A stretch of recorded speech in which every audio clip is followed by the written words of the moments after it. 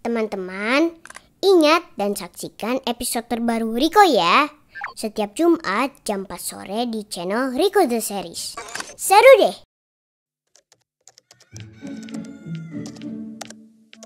Lagi lihat apa, Kak? Riko lihat dong. Hmm. Hmm. Ih. Bunda, Kenapa sayang? Mau diambilin minum nggak?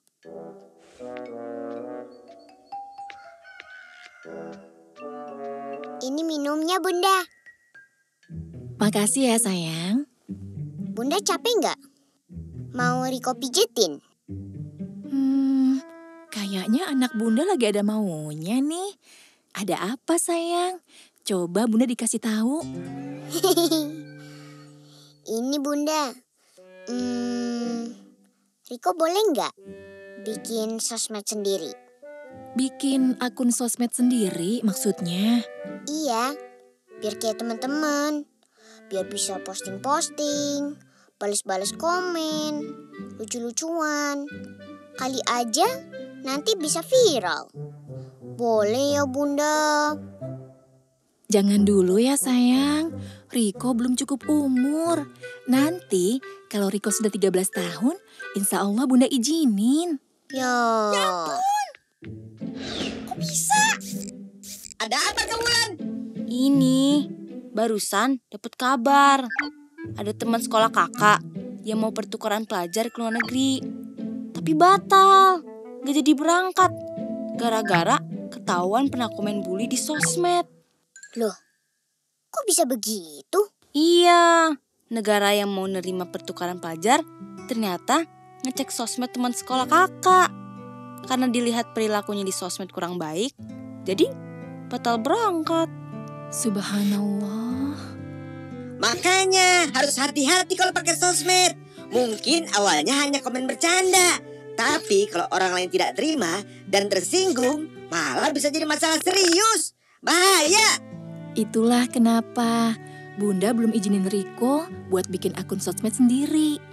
Karena Riko kan belum 13 tahun. Jadi belum paham betul mana yang boleh dan tidak boleh. Mana yang benar atau salah. Jadi menurut Bunda, Riko masih harus banyak belajar. Nah, kebetulan Kio punya teman baru yang ngerti banget soal sosmed. Sebentar ya.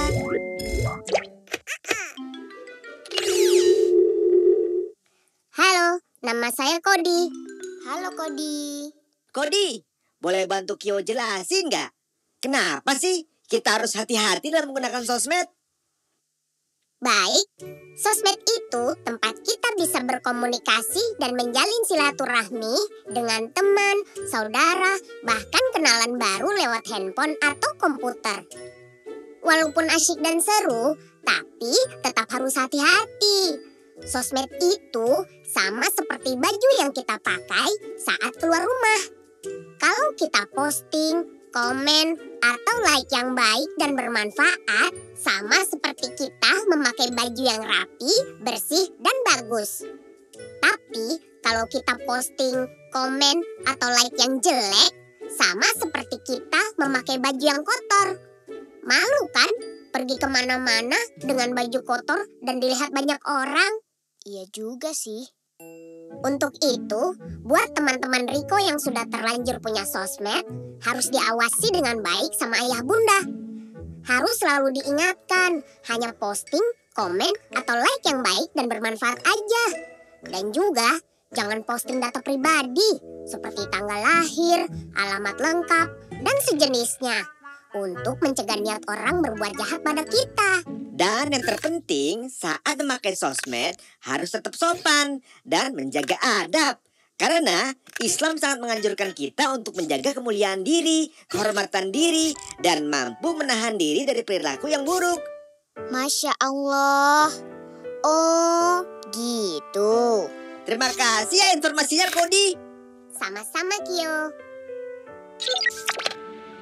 Jadi, gimana Riko?